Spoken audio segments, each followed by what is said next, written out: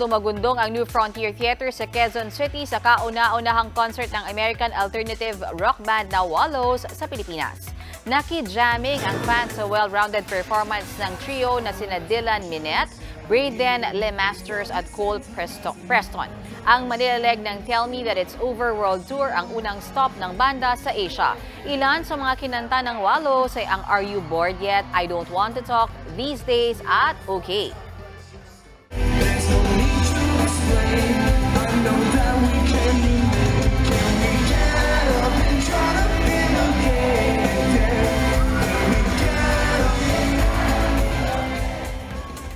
Bago ang kanilang concert ay nakipagkwentuhan muna ang Wallo sa News 5. Sabi ng grupo, marami pang dapat asahan ng kanilang Filipino fans at may pasample pa sila na Pinoy phrases.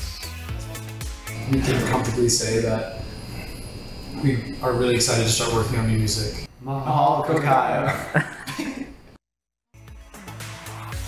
Niyanig naman ng vocal queens na Mama Moo ang big dome sa Manila leg ng kanilang MyCon World Tour kamakailan. Bigay todo ang K-pop group sa harap ng sold-out crowd.